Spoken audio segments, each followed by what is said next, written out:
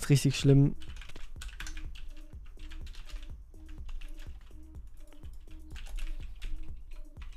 Hallo. Habe ich keine zwei Sticks gekauft?